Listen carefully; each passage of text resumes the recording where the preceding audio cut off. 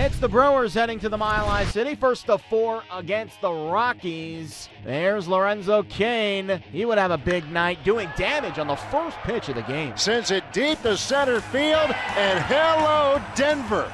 Lorenzo Cain, first pitch of the night. It's 1 0 Brew Crew.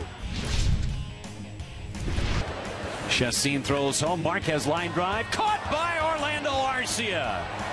What a play by the Brewers shortstop. Fully laying out and a snow cone grab to take a hit away from German Marquez. Runners in scoring position. Field creeping in for Colorado. Perez with a base hit out into center field. Shaw is in. Here comes Aguilar, and he will score a two run single for Perez as the Brewers are breaking through here in inning number five. Yep.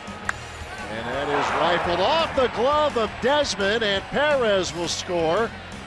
Cain, his second hit, second RBI, and it's turned into a three run inning for the Brewers. Two hits, two RBIs for Lorenzo Cain. Brewers, they beat the Rockies 5 2 year final. Travis Shaw, three hits. He also scored two runs.